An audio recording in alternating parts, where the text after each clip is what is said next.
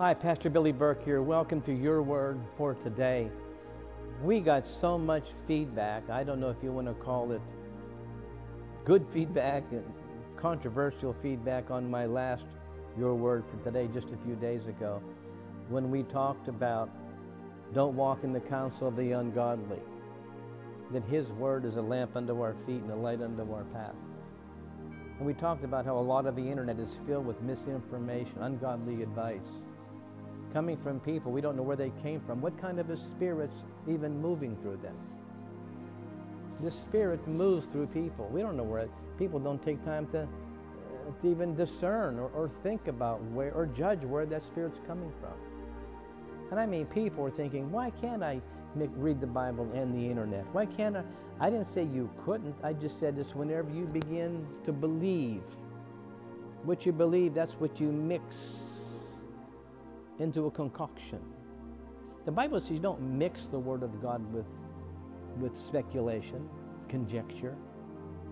You don't you mix the Word of God with faith if you want it to work to its fullest power for you. When you're mixing the Word of God with things that you're not aware of, that's what I talked about people just quoting and running and believing and grabbing a hold of. Hook, line, and sinker, the fisherman and his boots and the boat too, they're just grabbing a hold of all this information about the election, about the justices, and about the vaccine, and, and, and more, more issues. And they're just quoting, and that's what the Bible said. Don't walk in that kind of counsel. The word walk in the Hebrew means don't live there. And yes, Christians aren't rooted and grounded enough as they should be. Maybe they get tired of the Bible. Maybe, it's, like I said, it's just easier to go to the internet and mix it. You must mix the scriptures, the prophecies, yeah, the prophecies of things to come with your faith. You must realize the day in which we're living, things have to happen for what God has planned to come forth. In Luke 24, remember whenever the two disciples didn't even know who Jesus was, they were complaining about the fact that he was supposed to be the Messiah, and what happened? They killed him, and he was thinking, I'm not dead, I'm here talking to you, but you don't know who I am. And so he told them, Oh, fools, slow of heart to believe. Didn't I tell you that what happened to me was supposed to happen? But you didn't hear that part. See, a lot of people block out the prophecies that are to come, where wicked gets more wicked, but righteous gets more righteous. You know, where the sheep and the goat nations are separated, where everything evil is brought to the surface. You know, where the real sons and daughters of God are made manifest. They're going to shine and rise to the top. That's happening right now. But to, to grab a hold of that and to believe that is where your peace comes from. But to get some of the stuff that I heard back already in just a few short days, what do you mean I can't mix it with this? You can do anything you want to do. You're free to do that. But for my partners and for my friends, I want to see you mix the Word of God with your faith. I want to see you hear the information the Word of God has to tell you about the end times, about this time, about this president, about these Supreme Court justices, and yes, about the vaccine too. Fear nothing. Fear no one. The Bible says, In whom shall I be afraid? For thou art my shield and my strength. In you will I put my trust. I have full confidence that God is going to lead you, that the Holy Spirit is going to reveal to you where to put that vote, to what Supreme Court justice to back up and support, and by all means the vaccine to take it, to not take it, but to begin to just listen to everything and anything whenever you haven't prayed, you haven't sought godly advice from some people that God has put into your life, go to them, ask them for counsel. That shows humility, it shows a teachable spirit. Because God doesn't want anyone to perish. He doesn't want anyone to get into deception. And the beginning of deception is to think that you can't be. Listen to me. This is such a critical moment in this time that we're in. I believe it's a time for each one of you to gain a credible influence with your family, with friends, with people at work, by not being afraid, by having a resolute heart, have coming to a decision, not because you picked it up on a scavenger hunt, with all of the talking heads coming through the internet, or on the news channels, or on the shows. Everybody has their opinion. Everybody has throwing in what they think. And the moment they have some credentials, and they, they just bring these talking heads on and just to back up their cause. Well, the believer's on another mission with another cause. And that is we want to get God's man in that Oval Office for this season, for this time. We want righteous judgment on the Supreme Court panel that believes in the Judeo Christian principles and stands for the written Word of God and the moral, the moral fiber of the Word of God. And yes, we want to get truth about vaccination, about what is being put on the market, what's being put into our body, but not with any fear.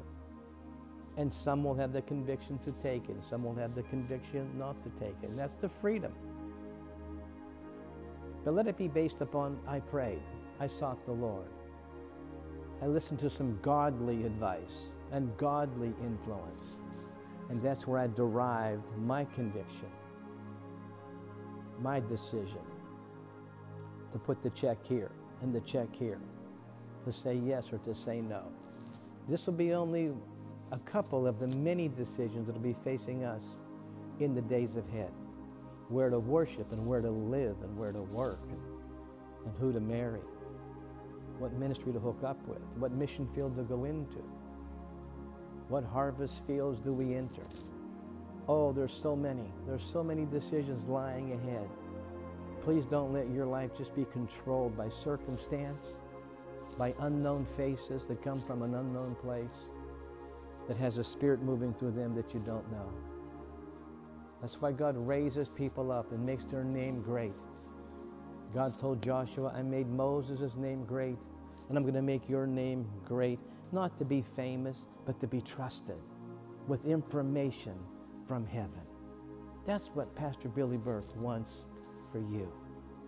Oh, I tell you, I read, I see the internet, I see a lot of these people quoting. I'm so thankful for the foundation of the Word of God. I'm so thankful for having people in my life that I trust the Spirit of the Lord in them. Paul said in Galatians, I have confidence of the Lord in you. That's what he said.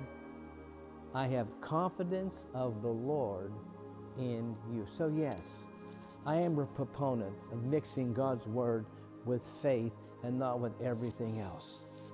Everything else makes the Word of God watered down and weak. But when you mix it with faith, I heard this. It's confirmed through him. It's confirmed through her. I prayed about it. And then I attached my faith to it. There's a power that's released that sets you free from fear and intimidation, from, from, from being stuck into a place of neutral. And it gives you something moving on the inside of you that when you share it, it's not just passing along something that I've seen. Here's a video that I watched, and there's no conviction to it. And you don't know what you're passing on. No, stay away from that. Don't be an instrument in the hands of the enemy, passing on his strategies. Pass on something to people that has life, that's been tested, that came from heaven through a man of God, a woman of God, something you prayed about, something you and taken into yourself. You've experienced the peace of it. You've experienced the freedom of it. And then you can say, as I said the other day, Joshua of old, as for me and my house. Just when you read that scripture, you get the feeling of Joshua having such confidence, such resolution, and such peace because he worked through it He prayed about it, contemplated, sought the Lord, and God sunk as He will you, settle truth in your heart. Avoid the mixture unless it's just the written word and your faith the faith of others that you know and that you trust. And I believe you'll experience the same freedom as a lot of these other people have. You will, I know you will. That's your word for today. Harvest of Miracles coming up in just a few short days Sunday, Monday, Tuesday, Wednesday. Oh, it's going to be amazing. Worship, praise, prayer, ministry. It's going to be a few great nights for you to be in the presence. I hope you really plan to be with me. Remember Mark 10 27, with God, all things are possible. Come on, call the number on the screen. Get that prayer. Come on, sow the seed. Help me. Do we ever need some help in this hour? Oh, this is getting so. Well, you know, help me. Please help me get this word out to the nations. God bless you. We'll see you soon. See you this weekend in the harvest of miracles. God bless you.